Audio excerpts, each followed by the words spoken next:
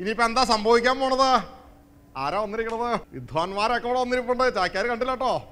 അപ്പോൾ എന്താ ഇനിയിപ്പോൾ നമ്മുടെ ഓണത്തോടനുബന്ധിച്ച് ഇവിടെ വളരെ വിശിഷ്ടമായ സംഭവങ്ങൾ നടന്നപ്പോൾ കുടുംബം എന്ന് പറയുന്ന ഒരു കാര്യമുണ്ടല്ലോ. എന്താ കുടുംബം എന്ന് പറഞ്ഞാൽ എന്താ? കൂടുമ്പോൾ ഇമ്പം ഉണ്ടാകുന്നത് കൂടുമ്പോൾ ഇമ്പം ഉണ്ടാകുന്ന ആരും പണ്ടായിരുന്നു. ഇപ്പം എന്താ? കൂടി കഴിഞ്ഞ അപ്പം തന്നെ അങ്കോ അപ്പം എന്തായാലും ഈ കുടുംബം ഉണ്ടാവണമെങ്കിൽ നമ്മുടെ നാട്ടിലൊരു ആചാരപ്രകാരമായ കല്യാണങ്ങളൊക്കെ ഉണ്ടല്ലോ. കല്യാണങ്ങൾ കഴിക്കണം അതിൽ കുട്ടികൾ ഉണ്ടാവണം ഭാര്യ ഉണ്ടാവണം അച്ഛൻ ഉണ്ടാവണം മകൻ ഉണ്ടാവണം അങ്ങനെ ഒരു കുടുംബം എന്ന സദസ് ഉണ്ടാവണമെങ്കിൽ അതിനിടയിൽ നിൽക്കുന്ന ഒരു വിധാനുണ്ട് ആരാത്?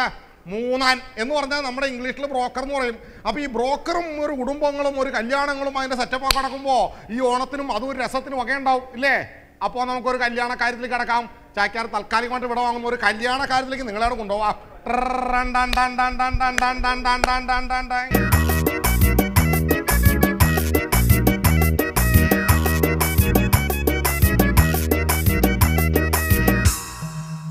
ഇങ്ങേരുടെ കൂടെ ജീവിച്ച് ഞാൻ മടുത്തു കണ്ടോ എങ്ങനെ ഇരുന്ന ഞാൻ ഇപ്പൊ ക്ഷീണിച്ച് എല്ലാം തോലുവായി ഹോ അതെങ്ങനെയാ രാവിലെ തന്നെ എന്തൊക്കെ പണികളാ മുറ്റം അടിക്കണം വെള്ളം കോരണം തുണി അലക്കണം.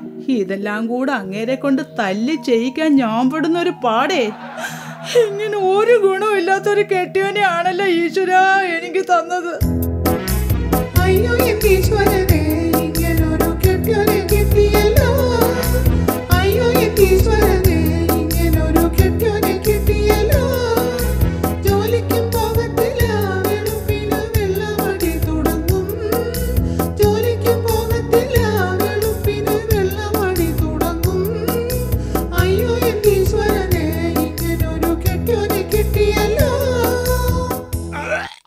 അത് എടാ ആരാണെന്ന്? എടാ നീയൊക്കെ എത്ര പേര് കൂടി തല്ലാൻ വന്നാലും? എനിക്ക് പുല്ലാടാ പുല്ല്. എടാ എല്ലാ അടിയും ഞാൻ ഈ ചങ്കൊണ്ട് കിടക്കും. മനസ്സിലായോ? ദൈവമേ ഇന്നും ഇങ്ങനെ കുടിച്ചു കൂത്താടി നാട്ടുകാരുടെ തല്ലും കൊണ്ടാണല്ലോ വരവ്.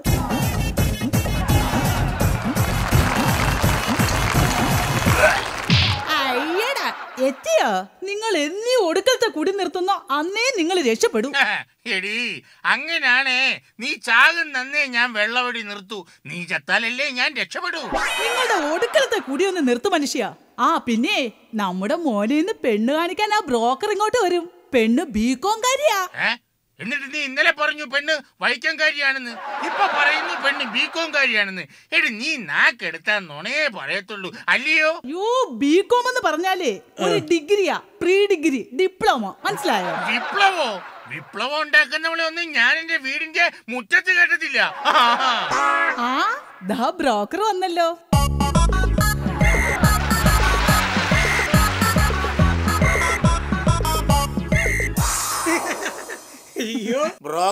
ഷേപ്പ് ആണെങ്കിൽ ചെറുക്കൻ എന്തായിരിക്കും? കൊള്ളാം. എന്താ ഇത്ര താമസിച്ച? രാവിലെ തൊട്ട് ഞങ്ങൾ നോക്കിയിരിക്കുക എന്റെ ദൈവമേ ഒന്നും പറയണ്ട. ആ പറയണ്ടെങ്കിൽ നീ പോ. അല്ല ഞാൻ പറയട്ടെ? ആ എന്നാ പറഞ്ഞു. ആ മന്ത്രിയുടെ മകൾക്ക് ഒരു ചെറുക്കം വേണമെന്ന് ഞാൻ തപ്പി നടക്കുമായിരുന്നു തപ്പാൻ ചെറുക്കൻ എന്താ? തവളയാണോ?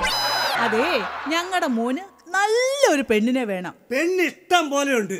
ചെറുക്കന്റെ സ്വഭാവം എങ്ങനെയുണ്ടെന്നൊന്ന് പറഞ്ഞേ. നല്ല സ്വഭാവ ചേട്ടാ അങ്ങോട്ട് പറഞ്ഞു കൊടുക്കേട്ടാ ഞങ്ങൾക്ക് ഉണ്ടായി തലതെറിച്ചൊരു പൊന്നുപുത്രൻ. എപ്പോഴും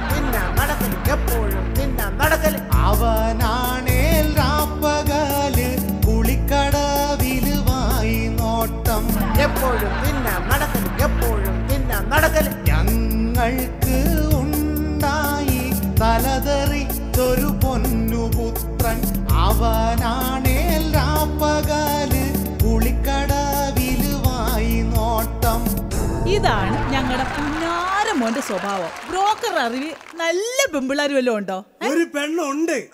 നല്ല സൗന്ദര്യം നല്ല വിദ്യാഭ്യാസം ഇഷ്ടം പോലെ സ്വത്ത്. എടി എങ്കിൽ നമുക്കിതങ്ങ് ഉറപ്പിക്കാം. ഉറപ്പിക്കാൻ വരട്ടെ. പെണ്ണിന്റെ കെട്ടിയവൻ സമ്മതിക്കുമോന്നാ എനിക്ക് പേടി. എടാ അത് നമുക്ക് പോയി പറഞ്ഞ് സമ്മതിപ്പിച്ചാ പോരെ. എന്താണ് നീ പറഞ്ഞത്? ഓഹോ സെക്കൻഡ് ഹാൻഡ് ആണല്ലേ. സെക്കൻഡ് ഹാൻഡിനെ ഒന്നും ഞങ്ങളുടെ മോന് വേണ്ട. എന്നാ ഒരു കാര്യം ചെയ്യാം. കുട്ടനാട്ടിലെ കുട്ടപ്പായുടെ മകളെ നമുക്കൊന്ന് ആലോചിച്ചാലോ? അയ്യോ അലമ്പം കുട്ടപ്പായുടെ മോളെ ഒട്ടും ഒട്ടും വേണ്ട. എടാ ഞങ്ങളുടെ പുഞ്ഞാര മോൻ കെട്ടാച്ചരക്കായി ഇവിടെ നിന്നാലും കുട്ടപ്പായുടെ മോളുമായിട്ടുള്ള ഈ ബന്ധം വേണ്ടേ വേണ്ട. കുട്ടനാടൻ വാട്ടടിച്ച് വീട്ടിൽ വരും കുട്ടപ്പായി തട്ടുമുട്ടും പറഞ്ഞിട്ട് മുട്ടനേടിയ. ചെട്ടിനാട് സീമന്റിട്ട് പണിഞ്ഞൊരു പുര മൊത്തം പൊട്ടിടിക്കു തകർക്കുന്ന ഭയങ്കരന. തല്ലിപ്പൊളിയാ നാട്ടുകാർക്ക് തല്ലാൻ കൊതിയ. മുട്ടൻ പതിവ. വേമ്പനാട്ട് കായലിനുള്ളിൽ പണ്ടു നാട്ടാർ കെട്ടി താഴ്ത്തി. അന്ന് തൊട്ട് കുട്ടപ്പായി പട്ട കണ്ടാലിട്ടോടും സത്യമായിട്ട് കുട്ടപ്പായി പട്ടേടി നിർത്തി. ആ പട്ടേടി നിർത്തിയെങ്കിൽ നമുക്ക് ആലോചിക്കാം. മോന്തിയെ. എടാ ഞാൻ ആവശ്യത്തിന് മോന്തിയേച്ചാ വന്നത്. ചേട്ടാ മോന്തുവോ മോന്താതിരിക്കുവോ? മോൻ എന്തിയാ ചോദിച്ചേ. അവനകത്തുണ്ട് വിളിക്കാം. മോനെ സുശീല.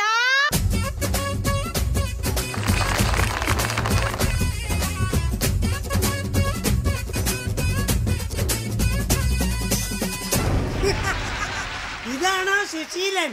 ഇത് ദുശീലനാണ്. ഇവനെ കുറിച്ചല്ലേ നാട്ടുകാർ അതും ഇതും പറയുന്ന കേട്ടത്? ഇവ മറപ്പുറയിൽ ഒളിച്ചിരുന്നെന്നാ.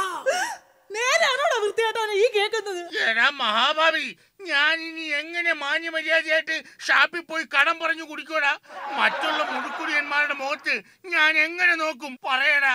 എടാ പറയാൻ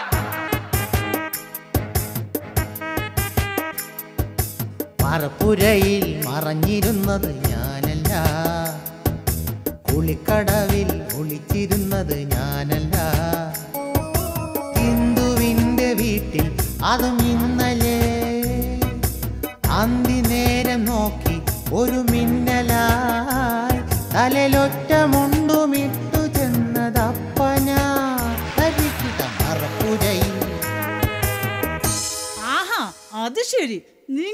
ഞാൻ അയ്യോ.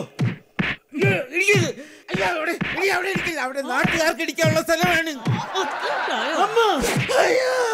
ആ ബ്രോക്കറെ ഇന്ന് തന്നെ കുട്ടനാട്ടിൽ ആ പെണ്ണിനെ പോയി കണ്ട് ആ. കല്യാണം അങ്ങ് ഉറപ്പിച്ചോ? എന്നാ വാ ബ്രോക്കറേട്ടാ നമുക്ക് ഇപ്പൊ തന്നെ പോയി പെണ്ണിനെ കാണാം. പ്രിയമുള്ള നാട്ടുകാരെ ഇന്ന് രാവിലെ പത്ത് മണി മുതൽ മിന്നൽ ഹർത്താലായി ആചരിക്കുകയാണ്. ഈ മാസം ഹർത്താലൊന്നും നടക്കാത്തതിന്റെ പേരിൽ ഒരു ഹർത്താൽ ഞങ്ങൾ സംഘടിപ്പിക്കുകയാണ്. എല്ലാവരും ഈ ഹർത്താലിൽ പങ്കെടുത്ത് ഇതൊരു വിജയമാക്കി തീർക്കണമെന്ന് ഞങ്ങൾ അഭ്യർത്ഥിക്കുകയാണ് അപേക്ഷിക്കുകയാണ്. ഓ മുടിഞ്ഞു പോകാൻ. ഒരു നല്ല കാര്യത്തിന് ഇറങ്ങി തിരിക്കുമ്പോഴാണ് ഇവന്മാരെ മുടിഞ്ഞ ഒരു ഹർത്താൽ. അല്ലെങ്കിൽ നമ്മുടെ നാട്ടിൽ എന്തിനും ഏതിനും എപ്പോഴും എവിടെയും ഇത് മാത്രമേ ഉള്ളൂ. ഈ മുടിഞ്ഞ ഹർത്താൽ. ഹർത്താൽ അവനോന് തോന്നുമ്പോൾ അവൻ അവൻ നടത്തുന്ന ഹർത്താൽ. ഹർത്താൽ. ഒരു കാര്യമില്ലെങ്കിൽ ഹോബിക്കായി നടത്തുന്ന ഹർത്താൽ. ഹർത്താൽ. കണ്ണുരുട്ടി കാണിച്ചാൽ ഹർത്താൽ. മീശ പിരിച്ചു കാണിച്ചാൽ ഹർത്താൽ. വന്നു നിർത്തിയിട്ട ഗ്യാപ്പ് നികത്തുന്ന ഹർത്താൽ. ബ്രോക്കറെ നമ്മുടെ മോക്കൂടെ ഒരു ചെറുക്കനെ വേണം. ഒറ്റ പന്തലി രണ്ട് കല്യാണം കൂടെ അങ്ങോട്ട് ഒന്നിച്ച് നടത്താനാ. അതിനെന്താ? മോളെ ഒന്ന് കണ്ടാ കൊള്ളാം. അയ്യോ എന്റെ മോളെ അറിയില്ലേ? അവൾ ഫേമസ് അല്ലേ? ടി വി തുറന്നാൽ ചാനലിനുള്ളിൽ ഫോണും വിളിച്ചോണ്ട് നിൽക്കണ കാണാം. കിട്ടോണ്ട് നിൽക്കുന്ന ഡ്രസ്സൊന്നു ഒന്ന് കാണണം. അടിപൊളിയാ.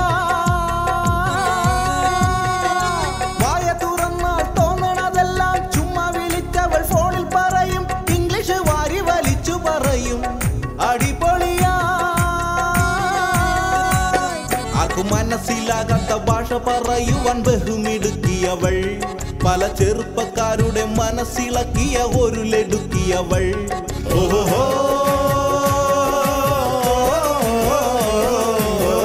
ഓ ബിസിയാ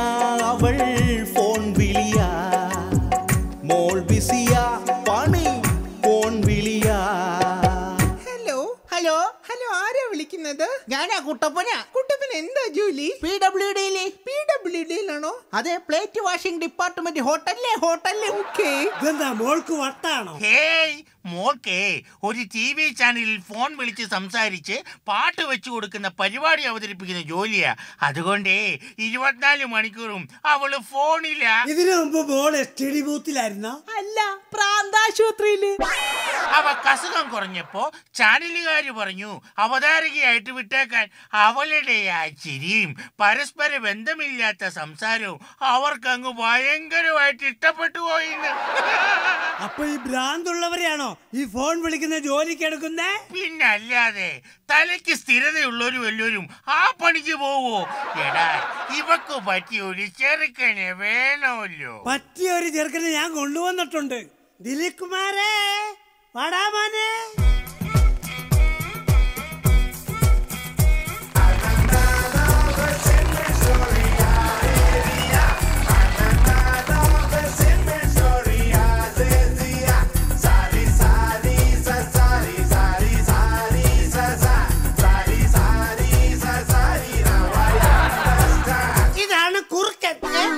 ചെറുക്കൻ. മോനെ ഇതാണ് പെണ്ണ്. എനിക്ക് ഇഷ്ടപ്പെട്ട്. ഇഷ്ടപ്പെട്ട് ആ പെണ്ണിന്റെ അച്ഛ.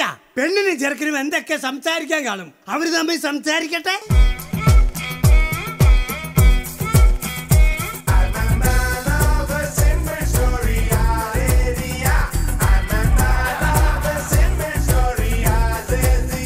എന്താ കുട്ടിയുടെ പേര്?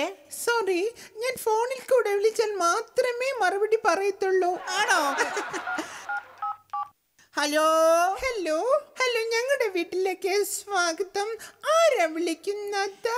ഞാൻ നിങ്ങളുടെ വീട്ടിൽ പെണ്ണ് കാണാൻ വന്ന സുശീലനാ. ഓളി ഒന്ന് കുറയ്ക്കോ. Susheela what the point is not the physical and how old are you എന്നെ എന്ത് ഇംഗ്ലീഷിൽ തെരു പറഞ്ഞാൽ എനിക്ക് ഇഷ്ടാ ഞാൻ അതല്ല ഉദ്ദേശിച്ചത്.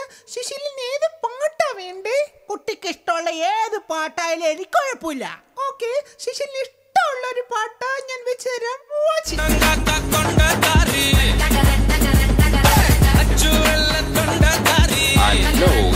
dick.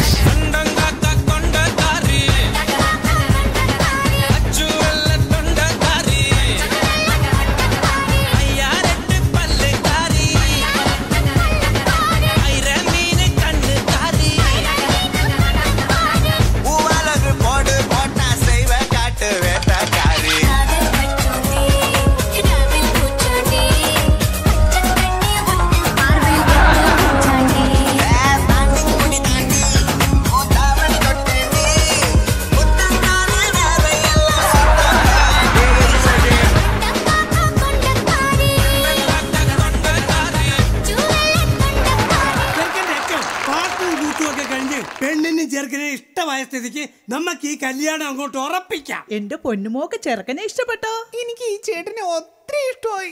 എന്റെ ജീവിതത്തിൽ ഒരു കല്യാണം ഉണ്ടെങ്കിൽ അത് ഈ ചേട്ടനോടൊത്ത് മാത്രമായിരിക്കും.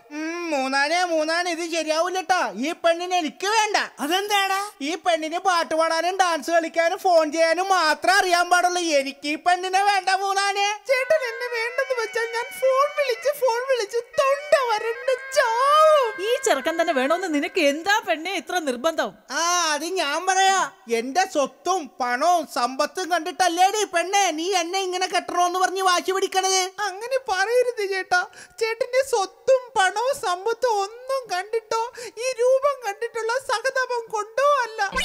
പിന്നെ എന്റെ വയറ്റിൽ വളരുന്ന കൊച്ചിന് ഒരു അച്ഛൻ വേണമെന്ന് ഓർത്തിട്ടാ കൊരങ്ങ. പൊന്നു മോളെ. ഏത് ചാനലുകാരാ നിനക്ക് ഇത് സ്പോൺസർ ചെയ്തത്? അച്ഛൻ എന്നോട് ക്ഷമിക്കണം. അത് ശരി. അപ്പൊ എല്ലാവരും കൂടെ കൂടി മനഃപൂർവം എന്നെ ചതിക്കുകയായിരുന്നല്ലേ? മോൻ ഇങ്ങനെ ചൂടാവല്ലേ? എന്തായാലും എന്റെ മോക്ക് വേണ്ടി ഒരുപാട് ചെറുക്കന്മാരെ അന്വേഷിച്ച് നടന്നതല്ലേ നീ? ഞങ്ങളുടെ എല്ലാവരുടെയും സമ്മതത്തോടെ എന്റെ മോളുടെ ഈ ഡിങ്കോൾഫിക്കേഷൻ നിന്റെ തലയിലോട്ട് ഞങ്ങൾ ഡെഡിക്കേറ്റ് ചെയ്തേക്കുന്നു. ബ്രോക്കർ